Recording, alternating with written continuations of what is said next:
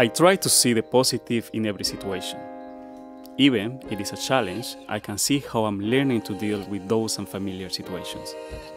I like that UTS is a young university. It's really innovative and creative. We learn how to co-create and collaborate with the users. When we invent new technology for them, we are solving a real problem in a collaborative environment. It's cutting edge here. We are working with things like 3D printing, artificial intelligence, machine learning, and blockchain. Starting in Australia has been challenging, but I will never regret coming here. It's giving me the confidence to be a leader and a change maker.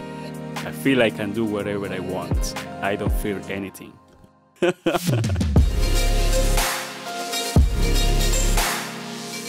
One of the best things I learned at UTS is how to think and act as an entrepreneur.